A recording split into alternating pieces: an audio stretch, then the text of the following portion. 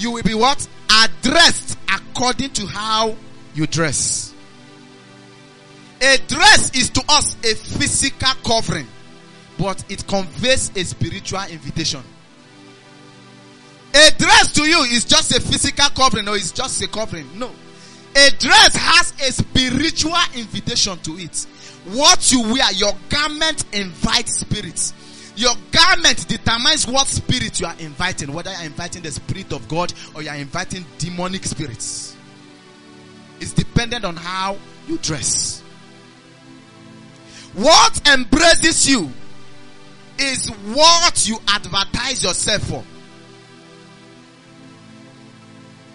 What you have been wearing invited the things you have been witnessing. Whether you have been witnessing good things, whether I've been witnessing bad things, is based on how you have been dressing. If a madman walks past here, do you need any person to tell you he's a madman? How do you know? Look at you on the road and do like a dog. That means maybe you are dressing like a dog. You need to change your pattern of dress. Am I speaking to somebody now?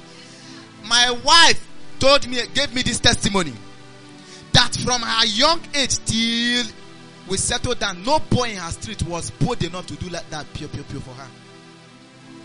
And I don't need to argue that. Based on how she dressed, because I knew her. You can't be walking and somebody's doing, are you dog? For someone to look at you to do that, check yourself. You should not shun the guy that did that. Go to the mirror and check yourself. Take an, a, a re-examination of yourself. By the time you answer yourself well and go back, nobody will do that again. They are doing it based on how you dress. The world will address you according to your dress sense. You can't dress like a prisoner and hope to meet a king. No, you can't. You can't dress like a low price street corner harlot and hope to marry a honorable God fearing man. It does not work that way. Half naked girls look very hot. The ones that cover their body look beautiful. Heaven is beautiful, hell is hot. Half naked girls, you look hot. We don't doubt it. You look hot, you look sexy. Very hot, you look. We don't drag it with you. You look hot. The ones that cover their body very well, they look beautiful. But heaven is beautiful and hell is what? Choose your dressing. The fastest ID card you present to people is how you dress. They don't need to read your ID card these days. By the gazing from your shoes to your head, you have given them an ID card. You don't need to have the best of all clothes before you look presentable. Am I speaking to somebody now? Even if you have three clothes, you have four clothes, you can present yourself very well with a little you have. Identity, dressing. From young childhood, I was born into deeper life. My mom would tell me that from age two, I started nodding tie.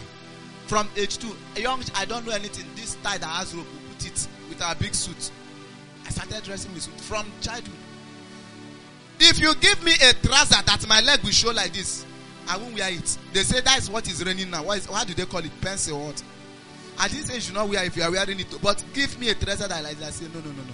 Give me a trouser that is tighter than here, down, pencil. That, oh my God. Have you seen them removing the jean? The people that dress like that. that you know that Satan is a madman. It is easy for you to remove this trouser I'm wearing, two of us, and to put it on. Then our young folks now say, no, it's too open. They will now sew it, it will be like chewing stick. Then when they want to remove it, they first wear nylon and sit down and tell you drag it. As they keep on dragging it, it takes more than 10 minutes to drag that trouser out. Another day again, you wear another one like that. My brother, what is the definition of madness that is different from this? Something is punishing you, you are, you are enjoying it and you are doing it more. You are doing it more. What if you wear that trouser and I maybe cockroaches inside? You are trying to remove it. And they are dragging it. Or snake. Dress sense. Your, your innocent parents, let me tell you this. Your innocent parents bear the curses and insults of men and women when they see you pass their streets dressed like a crazy girl or a crazy boy. Dressed like a crazy girl, a crazy boy, pass somewhere. Someone will be seated and say, Who born this one? Your innocent mother at home. Who born this one? Your innocent father at home. You are giving them a name they never ever gave their parents. How would it be well with such children? You dress well, oh, but you are naked. You are moving around. You say, Mommy is not you, now it's me. That is not you, it's me. That your innocent father and mother is at home. Another person is saying to fear, but not for you oh, now. Your parents that are innocently sitting at home. Dress sense. It has a lot to do with your identity.